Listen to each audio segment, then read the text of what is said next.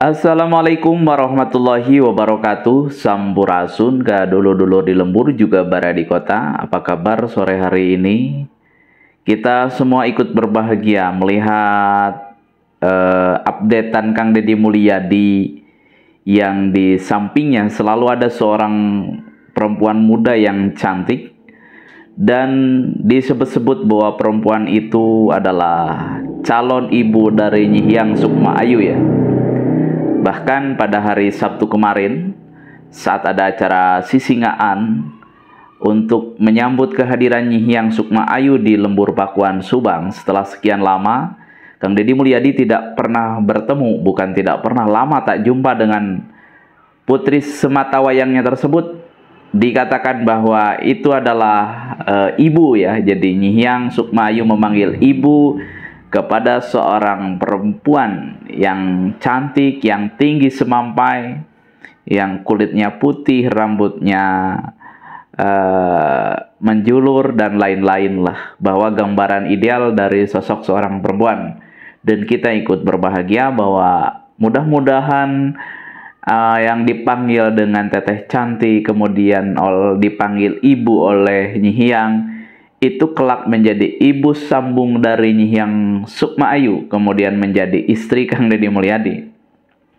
Ya karena udah lama juga ya eh, setelah cerai, kemudian sebelum cerai juga kita tahu bahwa Kang Deddy Mulyadi itu tidak pernah uh, tanda kutip akur ya bersama Ana Ratna Mustika karena dikatakan jarang bertemu, kemudian uh, pisah ranjang dan lain-lain sehingga kemudian kita berharap bahwa Kang Deddy Mulyadi memiliki sosok pendamping yang bisa berbagi tentang kehidupan, bisa bercerita, kemudian uh, bisa saling tukar pikiran gagasan di rumah.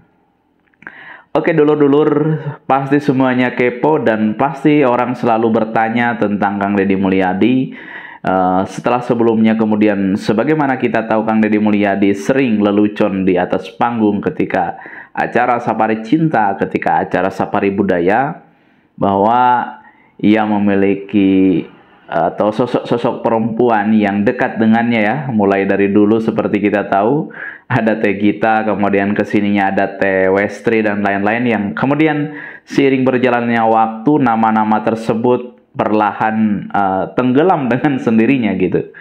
Nah, ketika kita melihat eh, akhir-akhir uh, ini ya, uh, hampir sebulan terakhir ini, Kang Deddy Mulyadi di panggung sedang ngobrol bersama seorang perempuan, kemudian terlihat sedang berjalan, kemudian uh, mengobrol dan lain-lain lah. Kita berharap uh, para pecinta Kang Deddy Mulyadi, para fans Kang Deddy Mulyadi, berharap bahwa itu adalah Hmm, betul-betul jodohnya Kang Deddy Mulyadi gitu.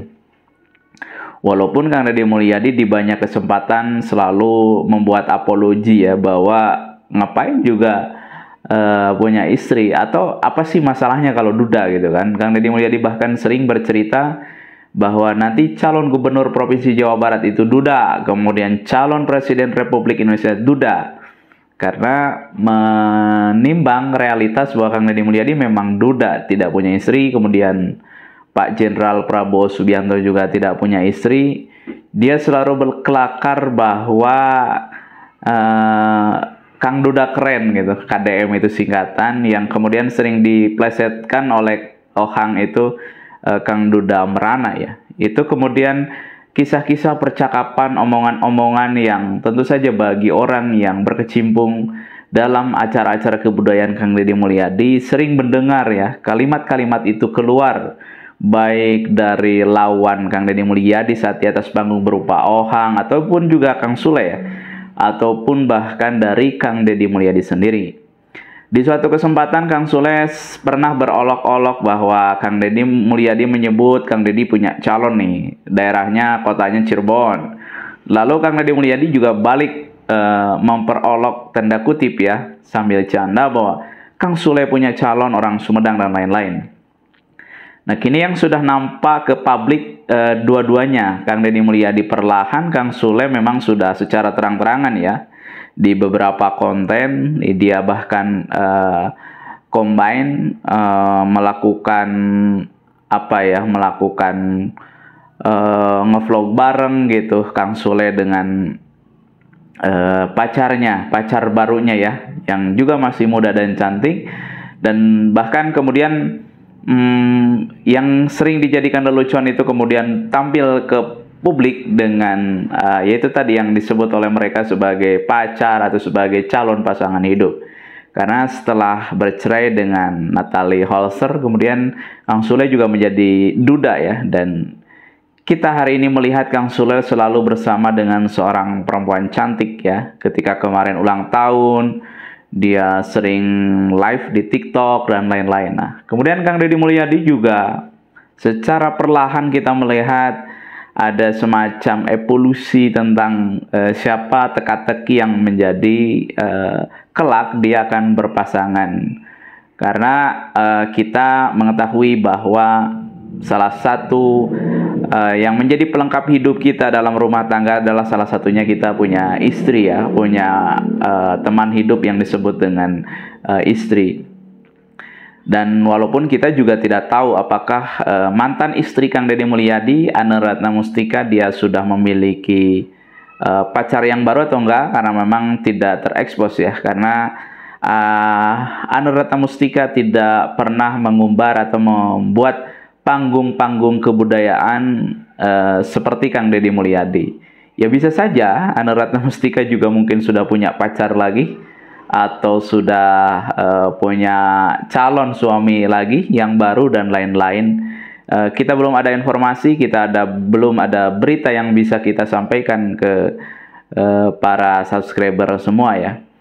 Tetapi bahwa pada intinya secara substansial bahwa kita melihat Kang Deddy Mulyadi uh, sering sendirian di rumahnya itu di Lembur Pakuan itu menjadi kenyataan yang tentu saja butuh pendamping hidup bagaimanapun gitu. Uh, bahkan dalam satu kesempatan saya pernah ngobrol dengan Kang Deddy Mulyadi sendiri ya kalau tidur katanya dia sendirian. Saya waktu itu membayangkan saya uh, sambil melamun uh, melihat ke kanan ke kiri yang luasnya di rumah Kang Deddy Mulyadi di Lemur Pakuan wah di tempat uh, sebesar ini Kang Deddy Mulyadi sendirian saya bilang hmm, artinya sih perlu ada teman gitu perlu ada orang yang bisa diajak komunikasi secara intim gitu. Nah itu kemudian pentingnya Kang Deddy Mulyadi memiliki istri kembali. Nah makanya kan di publik netizen sering cek bahasa Sunda nama ngareremukeun ya bahwa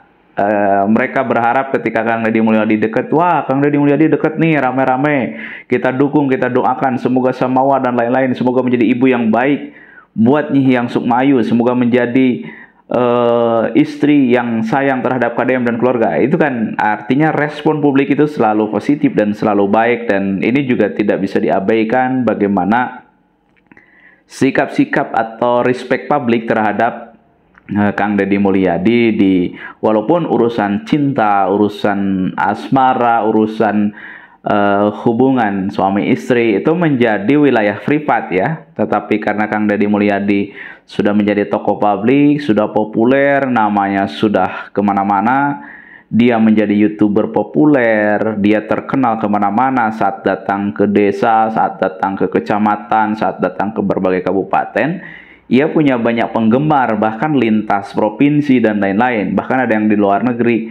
Nah, itu kemudian setiap langkah, setiap masalah, setiap problem, setiap realitas, setiap tindakan Kang Deddy Mulyadi tidak lepas dari uh, respon dan komentar publik sehingga kemudian wajar jika kemudian banyak respon-respon yang menganggap bahwa Kang Deddy Mulyadi selalu dalam uh, perbincangan uh, publik ya. Uh, itu pada akhirnya mau tidak mau karena Kang Deddy Mulyadi adalah tokoh publik.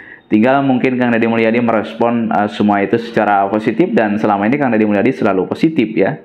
Melihat ada orang yang berdoa, Kang, gerah nikah deh, Kang kapan dan lainnya mudah-mudahan. Nah, itu kan Kemudian doa lontaran-lontaran kalimat kata harapan itu kemudian muncul dari fans Kang Deddy Mulyadi dan itu menjadi wajar untuk menjadi bahan pertimbangan Kang Deddy Mulyadi sendiri dalam merespon, dalam memutuskan tentang apa langkah-langkah kehidupan Kang Deddy Mulyadi.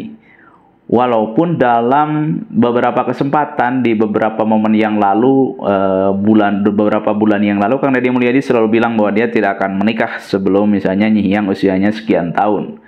Nah, seperti kita tahu bahwa Kang Deddy Mulyadi ya sangat sayang sama Nyihiang ya. Bahkan dalam acara ulang tahun Kang Deddy Mulyadi yang ke-53 kalau tidak salah dalam sebuah pidato di Taman uh, di Lembur Pakuan Kang Deddy Mulyadi mengatakan bahwa hanya ada dua perempuan yang menurut Kang Deddy betul-betul mengisi seluruh uh, relung jiwa Kang Deddy Mulyadi. Dan perempuan itu di antaranya satu ibunya uh, itu disebut dengan Ibu Karsiti. Dia orang yang melahirkan orang yang melahirkan sembilan anak orang yang menyukseskan anak-anaknya untuk besar dengan kemampuan ekonomi yang terbatas karena Bapak Kang Deddy Mulyadi sendiri e, berhenti dari tentara ya karena dia pernah diracun e, oleh mata-mata Belanda. Konon cerita menurut Kang Deddy Mulyadi.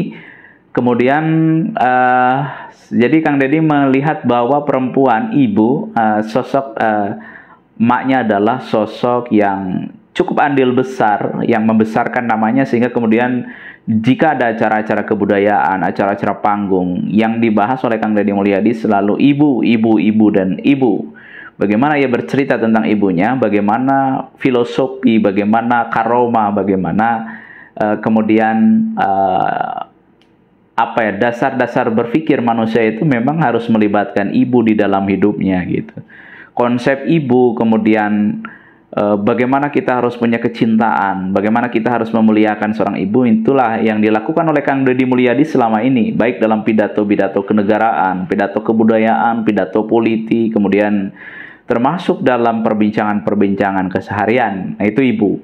Jadi dua perempuan yang dianggap oleh Kang Deddy Mulyadi pada saat itu yang dekat dengan dirinya adalah ibunya. Yang kedua siapa? Ya Nyi Hyang Sukmayu. Kang Deddy Mulyadi pernah bercerita bahwa Nyi Hyang Sukmayu ini adalah reinkarnasi dari ibunya Mikarsiti. Nah, itu kata Kang Deddy Mulyadi dan bahkan waktu itu saya masih rekam saat Kang Deddy Mulyadi berpidato di Lembur Pakuan Subang bahwa reinkarnasi dari Mikarsiti itu adalah uh, putri Nyi Hyang Sukma Ayu ya yang kemudian menurut cerita Kang Deddy Mulyadi saat Nyi Hyang lahir dia uh, datang di rumah sakit di Bandung ya. Kemudian uh, dia namai Nyihiang Sukma Ayu dan lain-lain. Kemudian kadang ia rawat sambil bekerja di DPR itu 2019 kan lahirnya kalau tidak salah uh, Nyihiang Sukma itu. Kemudian ia sering asuh, sering gendong bahkan banyak perlakuan saking e, begitu bergembira dan sukacitanya karena dia mulia di atas lahirnya anak perempuan itu. Kemudian dibikinkan lagu kemudian dibikinkan konten-konten yang kemudian diupload di kanal YouTube Kang Deddy Mulyadi. Itu e, perlakuan yang lebih daripada anak-anaknya yang lain gitu kan. Daripada Aula kemudian daripada e, anaknya yang satu lagi yaitu Detira. Dan itu selalu menjadi Uh, pembeda bagaimana sikap Kang Deddy Mulyadi terhadap putra-putrinya. Yang Sukmayu mungkin hanya karena perempuan yang diharapkan hadirnya uh, tanda kutip maksudnya dia ingin anak perempuan dan ketika hadir ya itulah kemudian Kang Deddy Mulyadi begitu sukacita dan gempita menyambut tentang Nyi Yang Sukmayu dan acara yang digelar pada Sabtu kemarin juga nampaknya begitu ya bahwa hadirnya Nyi Yang Sukmayu setelah sekian lama mungkin bersama Aneratna Mustika entah di Jatiluhur Purwakarta di Desa Mekargali. Karena tempat Aneratna Mustika tinggal di Purwakarta itu sementara di Kecamatan Jatiluhur atau mungkin juga di uh, di Istana Ambo Aneratna Mustika ya di Cianjur gitu Nah, Kang Deddy lama tidak jumpa dengan anaknya dan dia sering mengupload uh, rasa kangen itu secara hmm, apa ya, secara vulgar lah. Kang Deddy Mulyadi orang yang tidak kalau ketika bicara perasaan, Kang Deddy Mulyadi orang yang tidak bisa berkamuflase. Ketika dia sedih dia akan menangis, ketika dia bahagia ia akan tertawa, ketika ia rindu dan kangen ia akan berbicara tentang rindu dan kangen dan itu yang kemudian menjadi uh, model atau pembeda atau watak dan karakter Kang Deddy Mulyadi ya. Sehingga ketika dia kangen sama Nyiang dia ungkap dia uh, apa dia dia upload sebuah foto, sebuah lagu dan lain-lain. Dan ketika kemarin dia bertemu kemudian ia mengundang sisingaan lah di lembur Pakuan Subang buat rame-rame soal seperti acara semacam hiburan juga dengan masyarakat. Uh, ya diarak lah dengan sisingaan uh, satu kesenian khas dari Kabupaten Subang ya. Dan itulah momen di mana Kang Deddy Mulyadi juga menyertakan seorang perempuan. Itu tadi yang disinyalir bahwa dia adalah seperti dipanggil oleh Nyihyang adalah ibu atau kemudian teteh cantik yang disebut-sebut uh, tapi masih menjadi teka-teki karena belum ada pernyataan, tapi dari sikap, dari gestur, dari cara Kang Deddy Mulyadi memperlakukan perempuan itu adalah uh, dimungkinkan bahwa dialah nanti kelak menjadi calon pendamping Kang Deddy Mulyadi ya, semoga ya. Uh, siapa pun itulah calon pilihan Kang Deddy Mulyadi, kita akan uh, mendoakan gitu kan, kita akan menyupport tentang siapa pun yang kelak menjadi pendamping Kang Deddy Mulyadi.